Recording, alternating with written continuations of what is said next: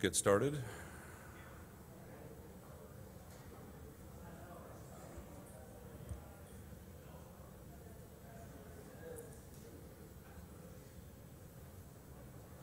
Donnie, can I have slides?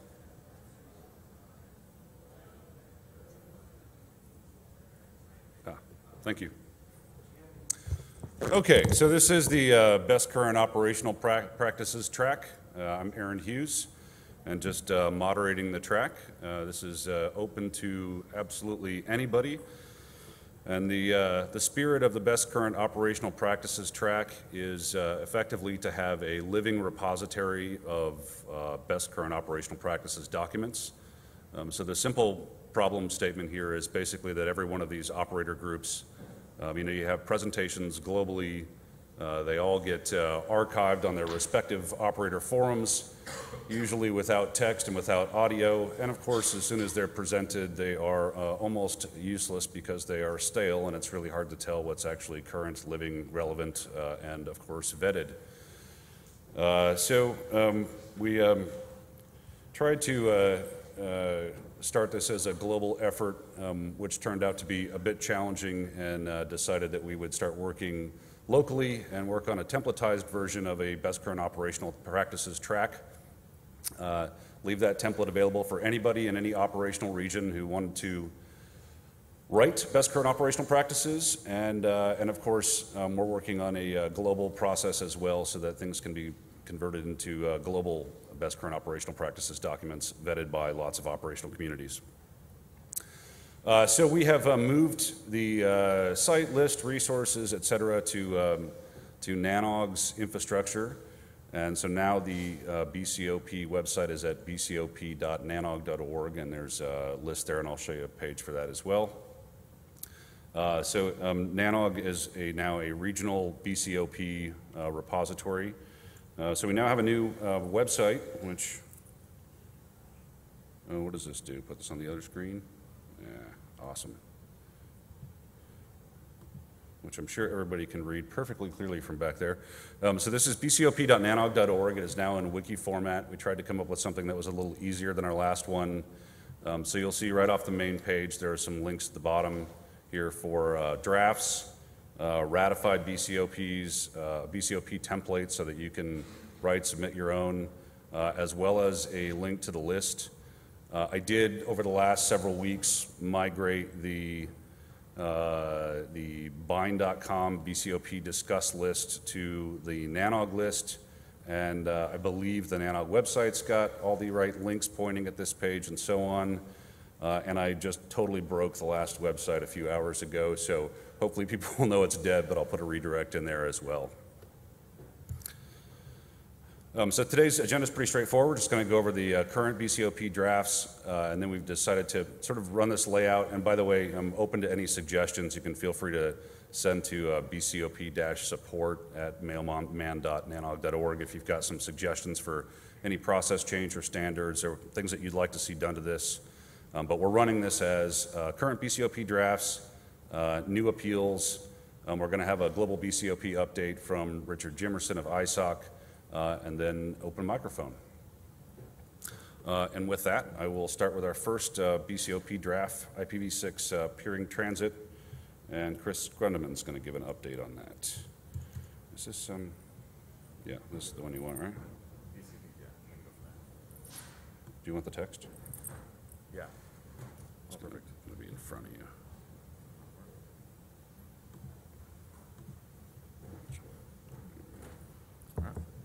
Um, so this, as, as Aaron said, this is the um, IPv6 peering, basically, uh, BGP peering BCOP draft. Uh, and we've talked about this a little bit in the past, uh, so it may be somewhat familiar to folks. We've talked about it on the list a little bit. And I think it still needs a little bit more um, content and a little bit more vetting before we ratify it. There's been some, some questions that have come up. So I just want to walk through the document real quick um, so you can see what's in here right now. I can't read that. No. Uh, so there's, you know, th- there's the, the standard appeal at the top, and then it goes into the background of, of what we're doing here. And really, the idea behind this one, it's IPv6 specific, uh, but the idea was since peering um, in general, right? How to set up sessions, the filtering that goes in on that is a big part of it. Uh, we haven't done a very good job of, of making that standard in IPv4. There's some kind of well-known best practices, but they're not, definitely not across the board and definitely not universal. And so with IPv6, as we're all turning up IPv6, or at least have recently and don't have a lot of traffic on it yet, there's a really good opportunity to get it right um, in IPv6. That's why we started there. So then it dives into the, the BCOP itself. Um, and the first chunk of that is establish new IPv6 only peering sessions parallel to any IPv4 sessions you already have.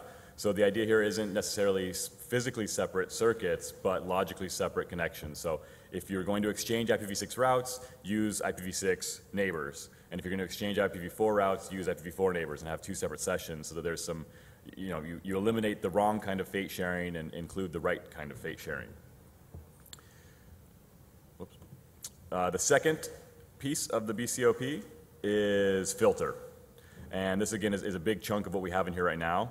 So it starts with filtering routes uh, coming from your customers, right? And this one, I think most people will understand fairly easily. Your customers should be, it- most small customers, you're going to just know what routes they're using, right? It's very easy for them to either manually or some, somehow update you on what routes they're using, what their IP space is, or, or the space you've given them, even easier. And then only allow uh, those routes, obviously. Uh, or if they're a bigger customer, you could potentially use something more dynamic. Um, and speaking of more dynamic things, that's also where we want to get into filtering routes coming from your peers and upstreams. So again, same thing here. What with the more dynamic filtering, you probably want to use an IRR or some way to actively monitor what routes they're using, or at least a prefix count at the very least, and and filter that so that you're only accepting the routes that you actually want to see from them, uh, and their fat finger mistakes don't cause problems on your network.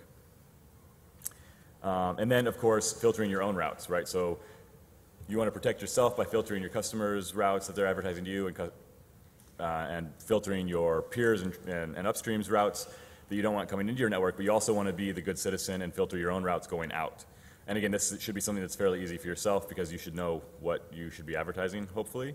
Um, and then also installing that information, which I think is actually another section down here. So use an IRR so that other people can filter your routes as well. Right, so if you install all of your routes in some form of, of internet routing registry so that other people can see what you are expecting to advertise, they can filter against that and actually um, be useful as well there. Then we've got another section on using IPAM, which uh, I think comes into play a little bit more in IPv6 than it did in IPv4 uh, because you've got a lot more addresses and, and, and bits of space to deal with. So it becomes even more important to actually understand where you're handing out the space, where you're using the space within your network, um, and so you can feed back into that IRR and other things there. And I think there's one more section, yeah. So um, peering DB, right, we believe it's a, a best current operational practice to use peering DB so that there's handy information on your network and how to contact you in the, the peering database. And that way, if you do it, you can expect others to do it as well. So today, that's kind of the, the crux um, of what's in the, the draft BCOP.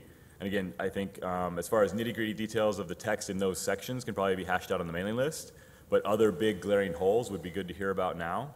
Uh, I know tunneling was one thing that, that had come up on the mailing list a little bit, and whether there was issues there or, or differences there. Um, and it, so I'd like to open it up for any comments on, is this the right direction for a peering BCOP? Uh, is there anything missing major? Do you like it? No?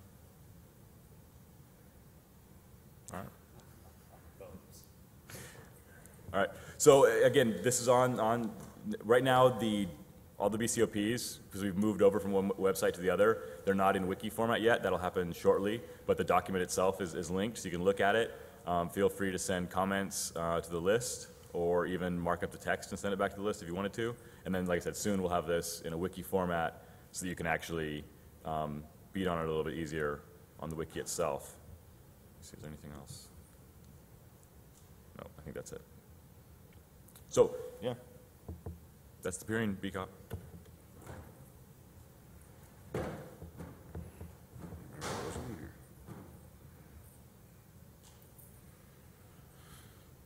Okay, yeah, and please do join the list. Um, You know, e- even if you don't have a lot to contribute, vetting these documents is actually really helpful for the community, keeping in mind that this is not just for you, the idea being when people come and ask you questions about these things, you can go, here's a document you can use for reference. This works great for your peers, your customers, people you think are doing things the wrong way. Um, So it's, it's very useful to have a well-vetted document to be able to hand them and not just go, you know, hey, a guy wrote this. Uh, So please do definitely review and chime in, even if it's a plus one or a thumbs up, that's, um, that's still actually very useful in this particular case. Uh, So we've got a couple of new appeals as well. Uh, The first one is on extension headers, and I don't know, Ron, are you here? Ah, there we go. Okay. Oops. Yes. There we go. So I'm just going to change the display to mirror so you can actually see this.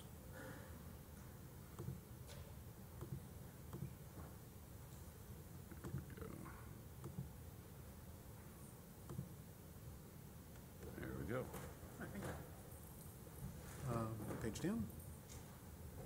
Okay, Ron Bonica again to rant about um, IPv6 extension headers, this time IPv6 extension headers in general. Um, IPv6 v6 extension headers can be arbitrarily long. They can be kilobytes and kilobytes long. Um, A modern router, uh, we're talking about a router that forwards at a fairly high speed, ASIC-based router, has to do one of two things. Either pull the entire header chain onto chip and parse it, or pull part of it onto the chip, realize it needs more, and pull more onto the chip. One way or the other, it has to do that. Um, if the header chain is reasonably long, so it can do that pull using a reasonable amount of clock cycles, you can build an ASIC at a price that you want to pay. Um, if you have to deal with an arbitrarily long header chain, the ASIC is going to be a very expensive animal. It's going to be more expensive than you want to pay. So the question is, do we really want to support header chains of arbitrary length in IPv6? Well, there are two things to consider. One thing to consider is how much are you willing to pay in ASICs to parse a header chain of arbitrarily, arbitrary length? And the other question is, why is it you want a IPv6 header chain that's 22 kilobytes long in the first place?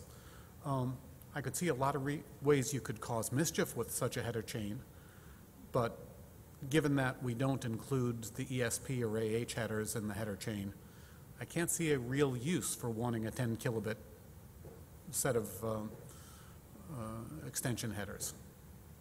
So, what do we do?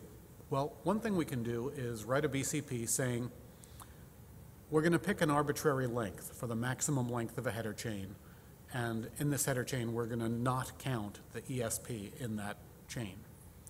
We're going to pick that length, and if we see a packet with more extension headers than that, we're just going to drop the packet. And at this point, I'm looking for community uh, feedback on that. Is that a good thing to do, or is that a bad thing to do?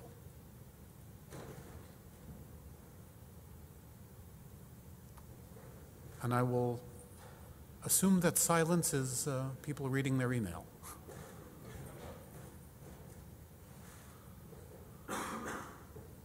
Randy Bush, IIJ.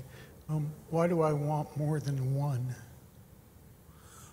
Okay, there is a question about what that arbitrary length should be. Zero is a candidate. Zero, um, I want the encryption header. Well, actually, I'll argue that some might be useful in the future. There might be some destination header. There might Oh, be. IPv6 is absolutely full of things that might be useful in the future, Okay. which is help guarantee that IPv6 does not have a future. I was going to be thrilled if we got a small number like 200. Zero is really good. No, I asked why more than one. To be honest, I can't give you a good answer. I do want one. One byte. Encryption header.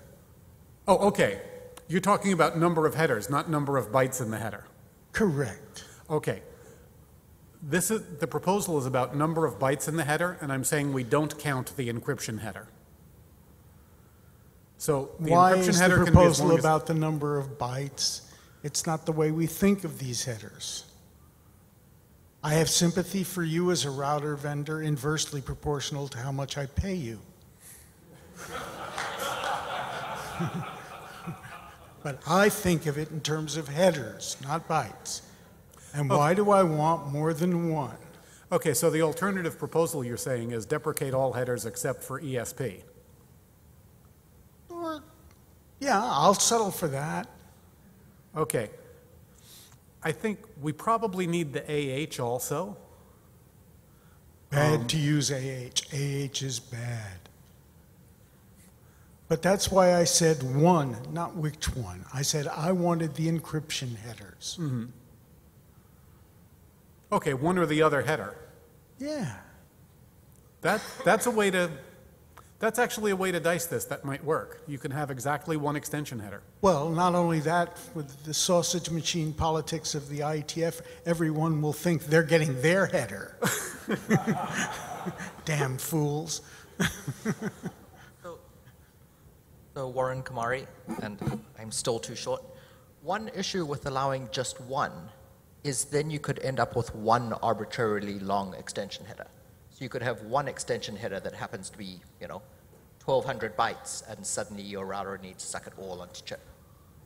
If the router vendors want to put some reasonable limit on the byte count, I can survive that experience. But what I think of is extension headers, not bytes. Right? And, and the AH and ESP and all those are short headers. So I'm not worried about 20,000 bytes. But I can see that you might be.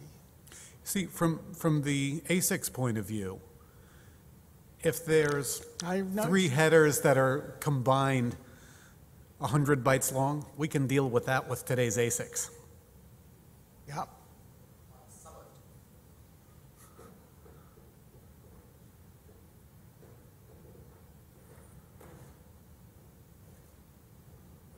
So Warren Kumari again. We were expecting this to be somewhat controversial, um, or that people would be wildly in favor of it. But we don't seem to be getting a huge amount of feedback in either way.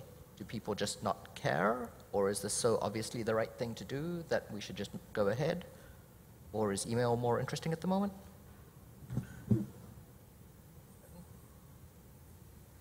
Jim Warner from the University of California at Santa Cruz. No, email is not more interesting right now. Um, it, it, it just strikes me that this is an attempt to change a protocol through a best current practices process, and it just seems like the wrong way to do it. If there's something wrong with the protocol, the protocol ought to be fixed. Best current practices is something different than protocol modification. Randy, again, I presume that's what you were doing. You're, you're not, um, um, seems to be something popular going on in the internet and ISOC and all that of publishing best current practices. I think that's a great B-arc. Um, and, um, but this is a protocol change and I have no problem with it. And I, my real question is, the real IPv6 folk in this room, if they go back to the IETF and say that they have heard from the op, a segment of the ops community that there is benefit and no objection to chopping this back, now's the time to whine. Exactly. If I hear that, you know, there's support in this community for updating 2460 to restrict extension headers, the draft will be written in a couple of weeks. So, Warren Kumari again. So, this was sort of a double headed effort. Um, we actually have a draft in the IETF that's sort of proposing this, and it's an operational draft that outlines the problem. Um, what we would like to be able to show is that operators actually think that this is a real issue. And so, if there's a operators document that says, in general, we drop these, or it's a best practice to drop these, we might be able to get people to. Walter Ames, LA Telecom. Um, Aren't we presuming now that we're trying to fix a protocol problem with iron and that, don't we presuppo- presuppose that these frames can only be switched in, in ASICs and if they fall outside of something, we can do something else with them, making the operator's decision to drop them or not? I mean, it's, not- you're, you're making a, a, an all or nothing argument. I'm not arguing for either one. I'm just saying that's the argument you're making. Jeff Haas Juniper. You also are going to need to have router alert in there. Otherwise, you're going to have things that depend on it, like multicast. RSVP and IGMP, yep. Yep, so it's not going to be ever be just one. Although, you know, re- really what you're saying is, this is a complicated mes- mechanism. We're stuffing TLVs in, t- you know, in front of routing headers, you know, in front of the packet. This makes it a mess.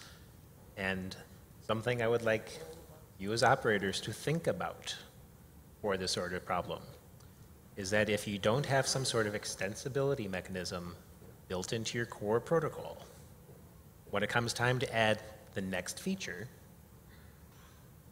your choices are use the extension mechanism, figure out some way to make it scale in your silicon. And that's the whole mess that we're dealing with here. It's completely arbitrary crap right now. Well, I think Randy's proposal, you know, the original, there are two proposals floating on the table. One is you can have as many extension headers as you want as long as the sum of bytes isn't bigger than some number that we choose here.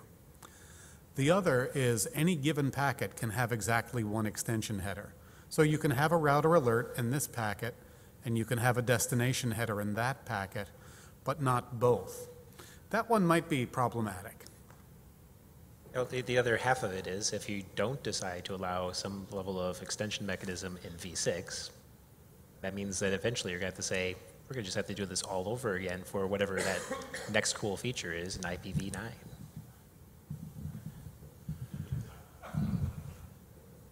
Scott Leibrand, Limelight Networks. What I'm a little unclear on is who's going to be the, doing the dropping and under what criteria. It, I've heard stuff about my ASICs can't handle it, so that would seem to imply that ASICs that couldn't handle it would be doing the dropping. But we're here in a best current operational practices forum talking about whether operators want to drop them.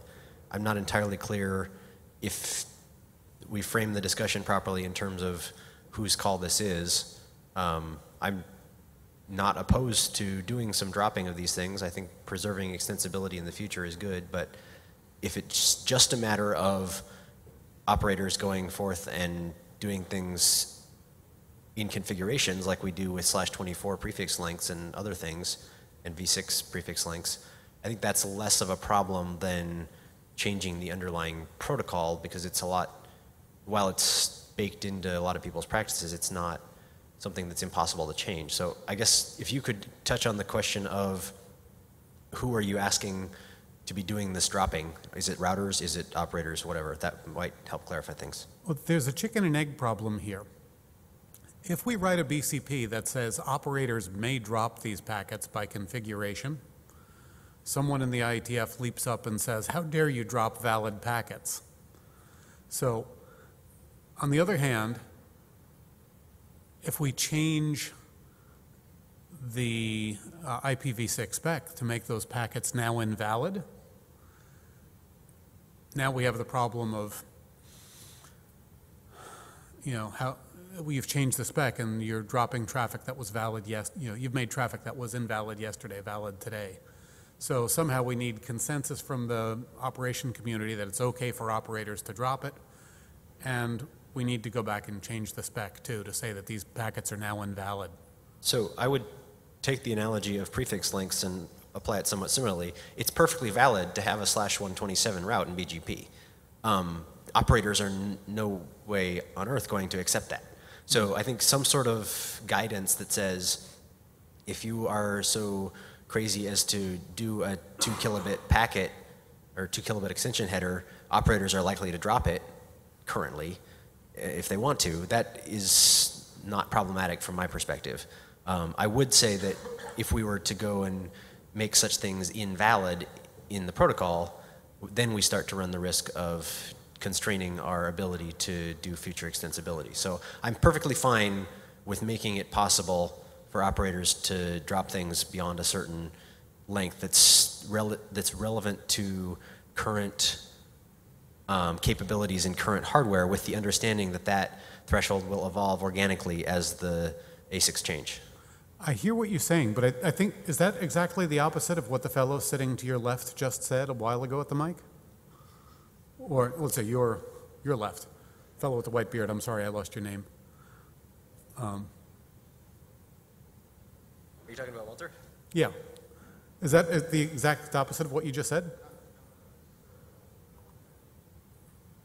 I wasn't ma- actually making an argument either way. I was trying to understand your argument in the sense that it sounded like a very all-or-nothing concern. I mean, right now, today, we deal with, with features in V4 that ASICs don't handle, and they get punted up to software. Now, now it's ugly, and won't work at wire speed, but that's what the argument I, I thought I heard you making. I thought you made all or nothing. It either does it in the silicon, or we change the protocol. Um,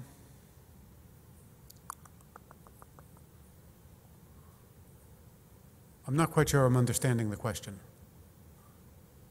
So it seems that there are three options here, um, possibly only two of which were being discussed until now. There's my router can't handle it in ASIC, therefore my router should drop it. There's um, this thing should or should not be completely allowed in protocol, and therefore it's going to be binary. And then there's this weird middle ground of beyond a certain level of bytes or whatever, this thing might cause problems. So some people might cause it, might drop it, and it might not get through. And that seems to be the ugly, messy reality of our current internet is that when things are too big or otherwise not handled by equipment, they get dropped. And that doesn't fit in very nicely to the neat protocol specifications, but that's what operation, operators deal with all the time. Yeah. Uh, Brandon Ross, Network Utility Force. Um, I think the, the nature of uh, best current practices is that they should be somewhat non controversial.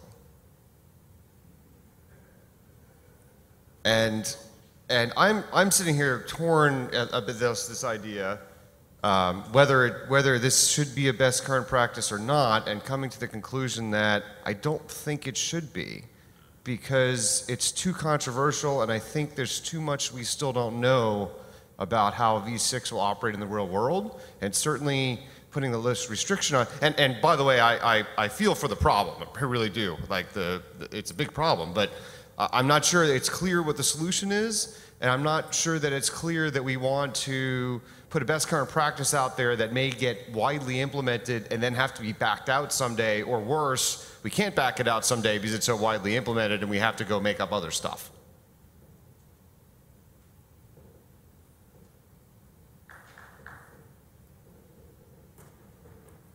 Randy Bush, IIJ yet again. Um, I think, I, I disagree with that.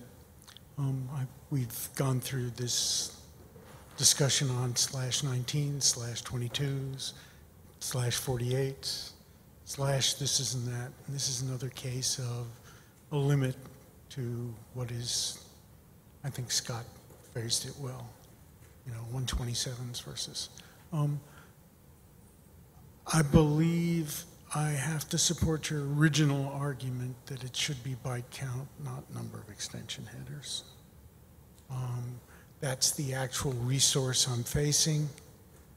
Um, that's life.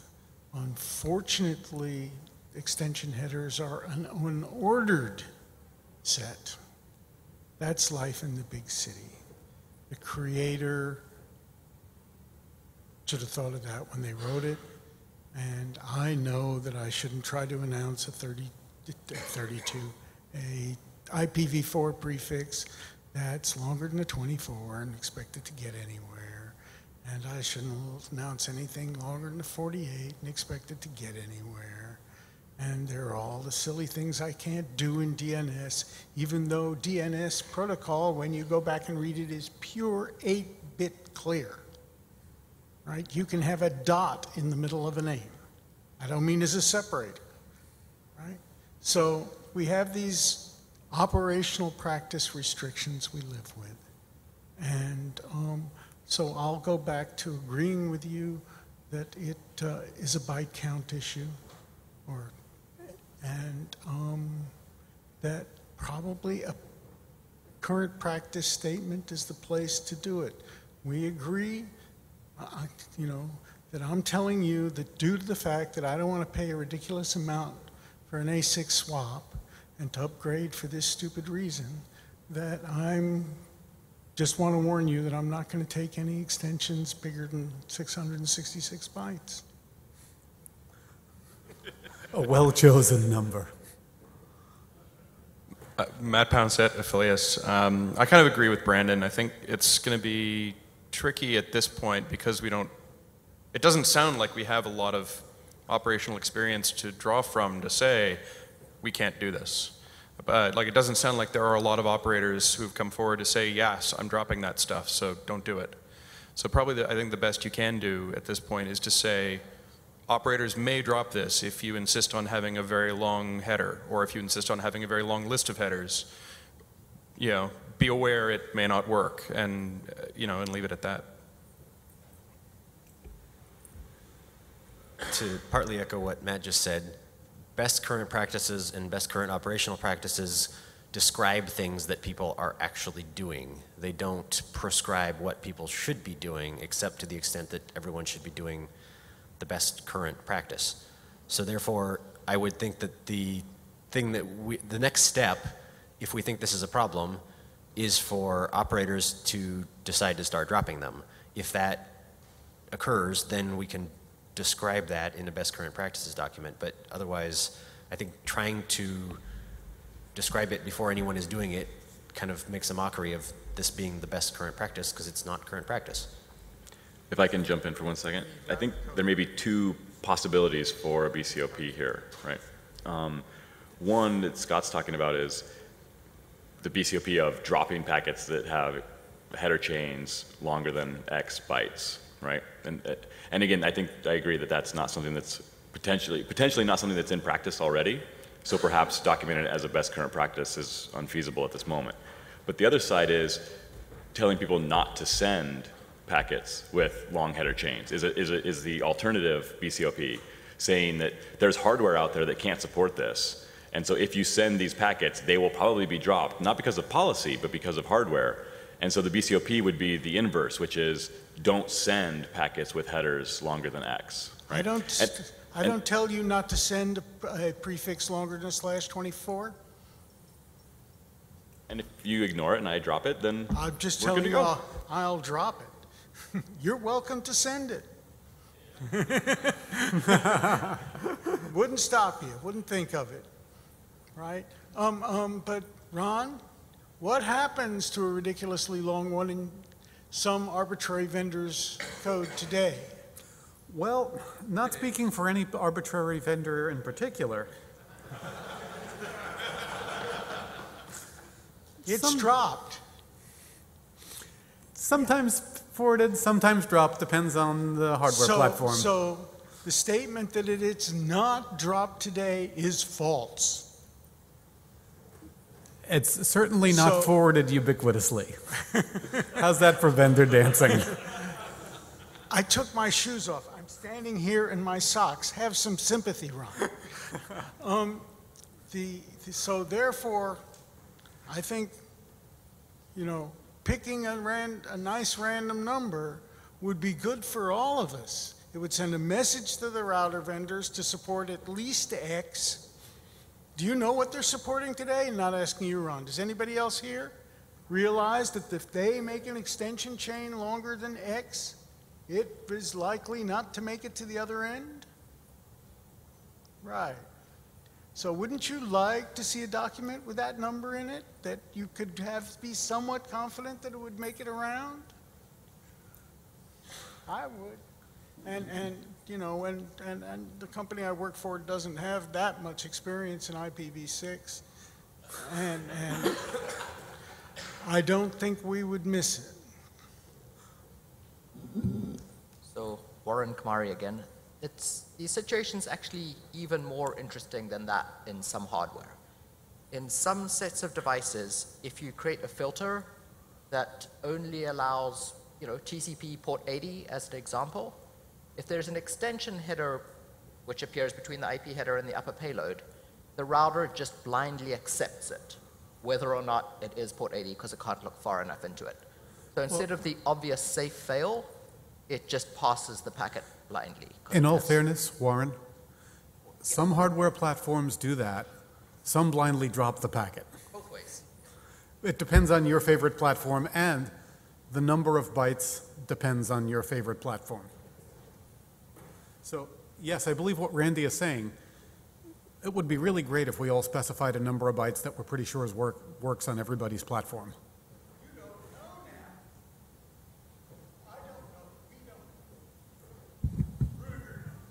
No, I don't know. Have, have, you, have you asked the vendors of your equipment what they are doing?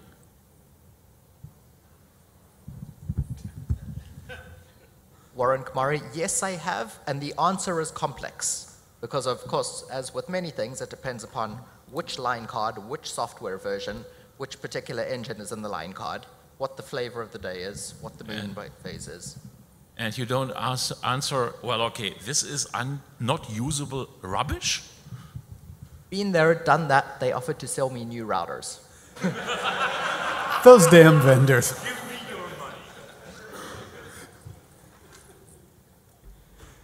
Do we have consensus that it would be a good thing to put a number on the wall that everybody should? This, this is Scott. Um, this sounds like something for a BCP, which means IETF, not a BCOP, which is here, because this is a thing that router vendors are doing for purposes of getting around router limitations, and operators should have input on whether you should be doing it, which I think you're getting now, and I think the consensus I see is, yeah, sure, go ahead and do it if you need to, but I don't think it needs to be defined here in a BCOP at NANOG. Okay, and you, If, if no operator has any particular wish, if, if there is anybody who wants to do something specific and knows what his minimum requirements are, that would be really nice to be aired here and in the IETF.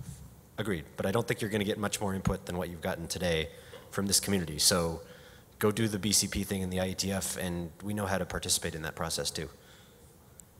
oh, first slide.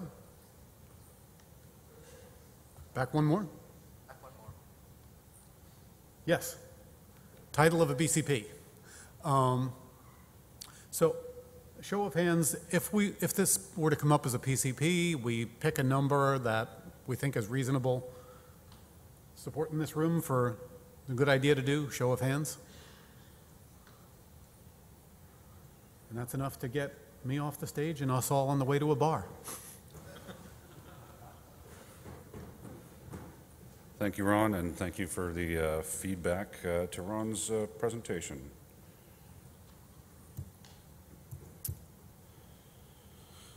Okay. Uh, So we've got another new appeal. Uh, This is going to be uh, IPv6 security myths and presented by Chris Grundemann. Um, There we go. All right.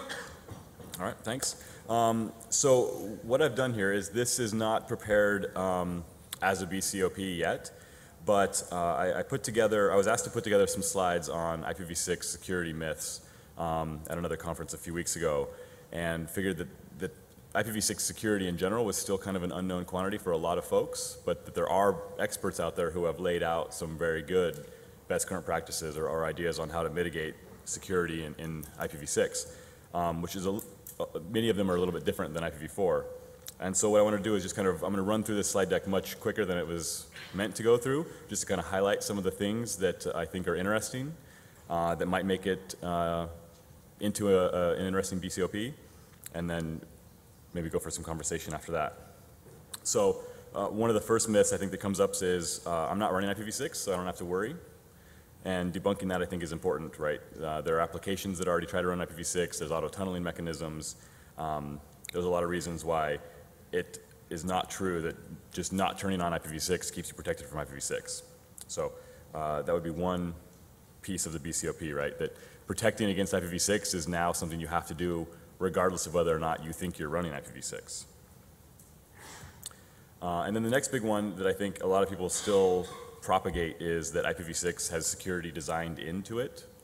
Um, and the truth is that, you know, IPsec maybe it was written for, for IPv6 originally, but it's been backported to IPv4. Um, and the fact that IPv6 mandates IPsec as being available doesn't mean that you're going to use it necessarily. So there's obviously some room for um, BCOPs around, you know, actually using IPsec and actually using the tools that are provided in IPv6, because otherwise it doesn't actually provide any more security, right? Um, another piece uh, is that IPv6 is already fairly long in the tooth, even though it is just now being deployed.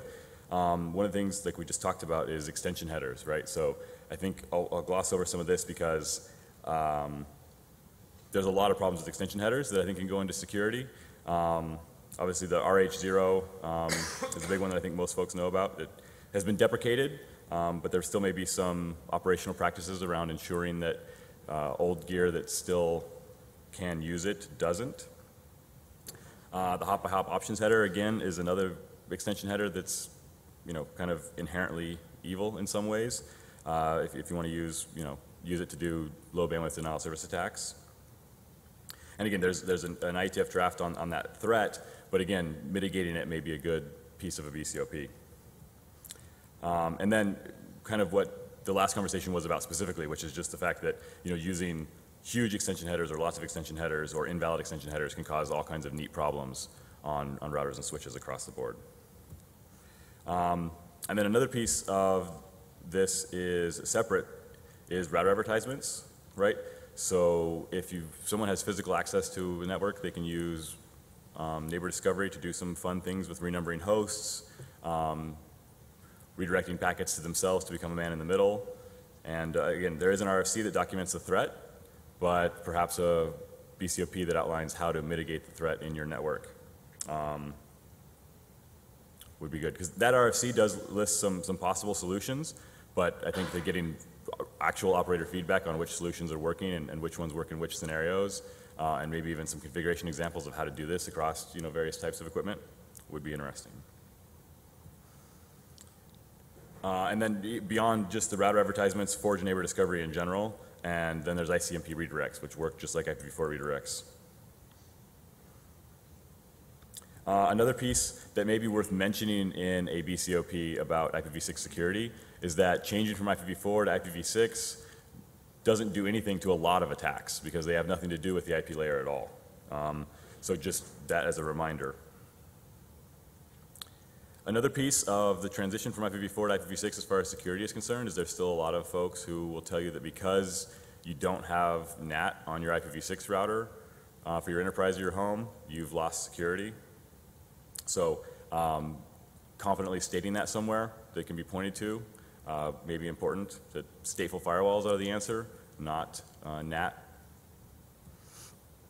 And then network scanning is another big piece that uh, again, I hear this a lot that, oh, well, you know, you've got 18 quintil- or 180 octillion addresses on your LAN, so there's no way it can be scanned.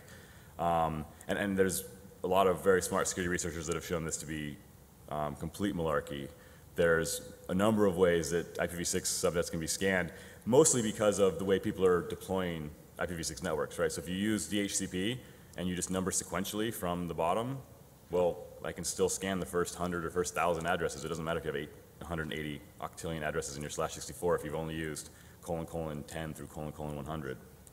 Um, also, uh, SLAAC addresses are introducing the MAC address, right? So you can search for specific vendor types.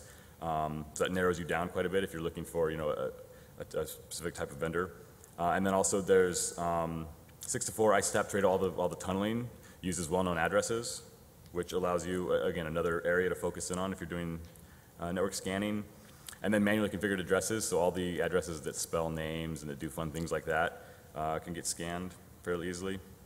And then once you've got access to a local node, you can use multicast uh, and neighbor discovery to find everyone else. So all you have to do is find one address, right? So the server that's colon colon dead beef or whatever uh, now has given you access to the entire network once you once you've exploited that one device.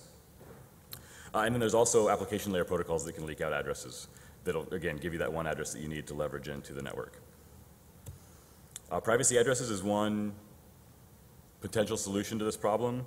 Um, but there's, uh, again, that may be even a whole separate BCOP on how to use them, when to use them, um, how different vendors have implemented them, and uh, what that looks like. Uh, and then uh, this part just talking about some of the tools that are already available. Um, so again, plenty of information out there to reference into a BCOP. I think a lot of this work has been done uh, as far as uh, determining where the BCOP would lie, It just hasn't been kind of brought into one area. Um, the last piece here, I think this is the, one of the last myths, um, is that there are some fairly major differences actually between IPv4 and IPv6, it, right? It's not just 96 more bits, it's not just a longer address. Um, if you're doing things like ACLs and things, right? So if you're doing anything in systematically, right, and you're searching for 32-bit addresses with periods in them, uh, those searches no longer work. If you're looking for IPv6 addresses, right now you need 128 bits and, and colons. There's hex characters in there which can throw off all kinds of things. Um, so if you're doing logging or grepping filters, or writing filters or, or, or grepping logs, there's lots of uh, issues there that, that are things that are different now that uh, we may want to document. Like having multiple addresses on each host. Uh, so again, from a logging perspective, and how do you parse logs, and how do you identify users, and how do you identify uh, sources and destinations of attacks, you can move addresses and not move hosts. Right? Um, and then the last thing is kind of parlaying off of that is IPv6 filters. I hear over and over again, just you know, configure your IPv6 filters just like your IPv4 filters, and you'll be fine. Uh, but that's not quite true. Um, ICMP is actually required for IPv6 to operate, right? So in IPv4, a lot of times you just block all of it. And if you do that in IPv6, you will break neighbor discovery, DHCP, many other things. Um, so there's at least a few of these um, ICMP messages that you need to allow. Some uh, firewall filter example. Uh, and then the last part of this presentation probably doesn't matter. Um, but then the last myth was that there aren't any security BCPs yet, so I think we could rectify that. There are some, um, but a lot of it's very broad, very general, and very, very long, lengthy documents, like the NIST document, right, which is like 120 pages or something, which is good, but I think having some focused operational experience written down would make sense. So at that point, I'd like to open it up and see if any of that makes any sense as a starting point for a new IPv6 security BCOP.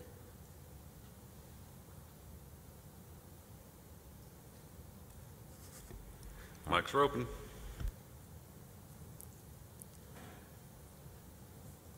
Jeff Handel, Louisiana State University. There were several slides you had on there about not tracking or not worrying about tracking. But for us, tracking is very important. I still need to know who a user and what IPv6 address they're, they're doing. So how are we looking to address that? Whether you run DHCP v6 or SLAAC. Yeah, so I, I think, well, um, that's a good question. I think it's something that should be explored further. Uh, and it, it depends, right, on your environment, I think. But I was looking at it more from a security perspective of not necessarily not being able to track the users, but the idea that you can find them, right? If, if you just have a, a DHCP pool because you want to use DHCP and you have a block of addresses you're going to assign to your clients, then that block is exploitable potentially. And it's not that, that that's any less secure than IPv4. It's just that I think people. Some of the documents that are there, as interpreted by my security department, come back to me as an operator as something that looks very brain damaged. Hmm. That's fair. And, and, to those last two points, I think there is a security track going on right now. And so these were the slides that I had available to me that I used kind of expediently.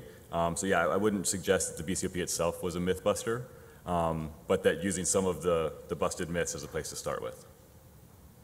And I also believe there is someone in that security track who may have some of this already written down uh, as a place to start with. So just looking for you know, feedback on whether or not to pursue that. Okay.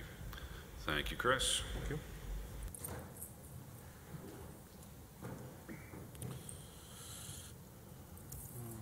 Right.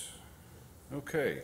um, Now we're going to have Mr. Jimmerson give an update on uh, global BCOP process. You don't have a slide for that? Thanks, Aaron. Put that up for a moment. Hello, my name is Richard Jimmerson. I'm with the Internet Society. Uh, a couple of months ago at the last NANOG, Jan Zorz from the Internet Society came here and talked to you about a global best current operational practices idea. Basically, the idea that originated here in North America, uh, where you are documenting best current operational practices. You actually have a pretty good effort underway, and judging by the number of people in the room here, there seems to be a lot of interest in it. Uh, the idea was to go around to other operator groups around the world and talk to them about putting together similar efforts inside their regions. Now, some of that already exists in some of the other regions, but just not in a very formal way. But basically, the aim was, and, and by the way, NANOG was the first group that we talked to about best current operational practices on the global scale uh, from the Internet Society. Uh, our intent was to go around and speak to operator groups and to uh, build some momentum behind actually building out a global process for recognizing the regional best current operational practices documents as global best current operational practices documents. We wanted to gather feedback from the communities around the world and to uh, come back and actually have a proposal in the third quarter of this year about a process. Well, in doing this work, Jan Zorz has been traveling around to uh, many operator groups. He's been on the road pretty consistently for the last uh, five months, and he has a few more uh, events that he has yet to go. But we've had a very resounding set of common feedback coming from uh, the community. Now, a few of the elements uh, that we had proposed when we came here earlier this year, one of them was that we were offering up the Internet Society as a potential secretariat for documenting global best current operational practices recognizing the regional documents into a global series, and uh, stated that there are a lot of different ways that that document series could exist. It could exist uh, as a document series owned, uh, wholly owned by the operator groups collectively. Could be a document series that uh, was uh, created underneath an IETF process.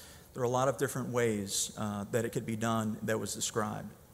And we had also described putting together a global proposal to actually put together this process of bringing people together from all of the different operator groups and uh, creating this global series.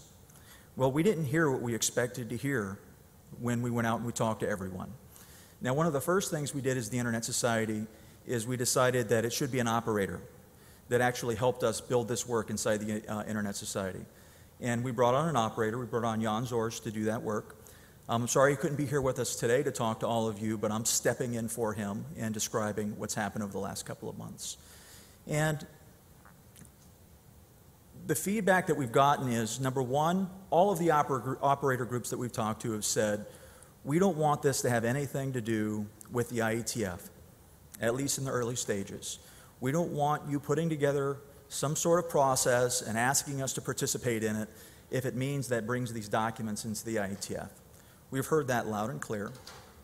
And we've also heard uh, from many of the operator groups that we've talked to, and most recently in the RIPE community, where there was a BOF on this topic, that there, there's very little interest in coming straight out of the gate and creating an actual global process, a process heavy, top down sort of system where we could recognize these documents. And instead, they've asked us to do a few different things, and we're actually changing our strategy. Jan Zorz, inside the Internet Society organization, has said that uh, the way that we set out to do this in the very beginning, a couple of months ago, was probably wrong, and he's actually convinced us to change pace a little bit. So, what we're going to be doing as the Internet Society with this is we're certainly not dropping interest in best current operational practices. We're very interested in it. We think they're very important. There are hundreds or thousands of operators or thousands of operators around the globe that do not participate in events like this one. They don't go to RIPE meetings, they don't go to NANOG meetings. It's either a resource issue or uh, it's a knowledge issue or there might be something else that's standing in the way, but they simply don't participate. We want them to have the benefit of these best current operational practices that are discussed in forums like this one that are being documented under NANOG right now and that are going to be coming up through some of the other operator groups, we hope, very soon. So what we're doing is, is we're going to continue uh, out on the road. We're going to be getting best current operational practices topic on the agendas at many operator groups as we can going forward. We're going to be talking an awful lot about the processes that are currently in place in NANOG, some of the processes that have been placed in the RIPE region and in other places. We're going to share that information with people. We're going to encourage best current operational practices work at the regional level, and we're going to offer any sort of uh, secretariat service or any other type of uh, facilitation service we can to help get those off the ground inside those regions. And instead of coming at you with a proposal in the third quarter of this year saying, we're the Internet Society and here's a proposal on how we can help make this happen, what we're going to do is simply start documenting everything that is happening uh, inside the regional operator groups and to continue going out and trying to get more of that activity going. And then perhaps sometime in the future, if the operators ask us to do it, uh, then we'll put together something more formal and have a formal global best current operational practices repository.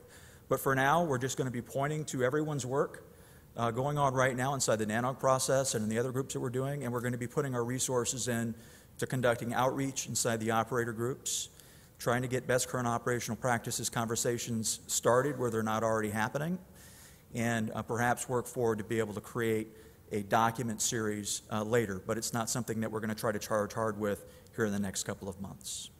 So, with that, that's the update. I've uh, channeled Jan Zorz best that I can in uh, collecting his feedback and reporting it back to you, and I'm happy to take any questions on what we're doing inside the Internet Society in, in terms of best current operational practices right now or what it is that we may do uh, going forward. Randy, yes. Randy Bush, IIJ, official curmudgeon. Um, my impression is that ISOC makes the IETF look extremely operationally clueful. Um, the ISOC had to go find an operator to play. Why does this smell like colonialization? The operators kind of, we do talk to each other.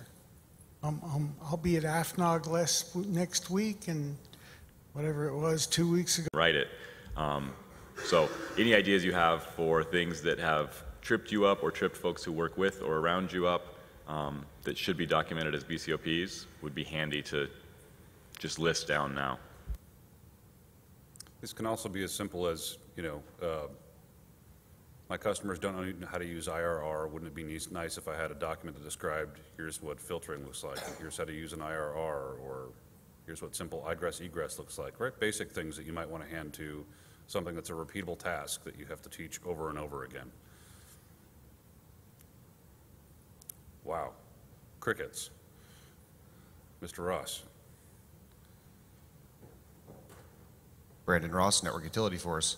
Um, one of the things that, that you sparked my memory for when you just said that was that actually one of the things I deal with a lot of the smaller operators is all of the other stuff besides plugging a router in that you should do or is the best current practice to do for a network. Things like, and that's right, yes, I'm throwing it out there. Things like you should probably have some sort of out of band network so that you can reach your stuff. Things like you should probably have, oh, let's say a uh, IPAM solution, let's say, or a uh, uh, SNMP management system.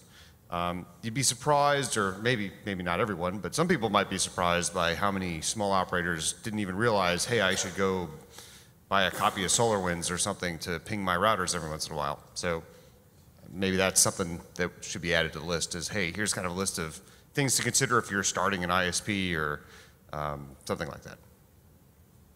Good feedback.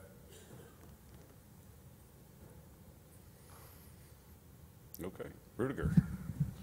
Uh, are you or anybody else maintaining a list of documents that are offered and documents that are requested? It's a uh, wiki, and you're welcome to uh, make changes, suggestions. Uh, yes, we just launched this wiki format um, exactly for the feedback that you gave at the last meeting. Uh, and it is intended to be open and community driven, so feel free to uh, jump in and and submit, make changes, requests, etc. It's community-owned. Yeah, that's bcop.nanog.org. All right, well, uh, if no other feedback, that concludes the BCOP track. Thank you very much for your time, and uh, ciao.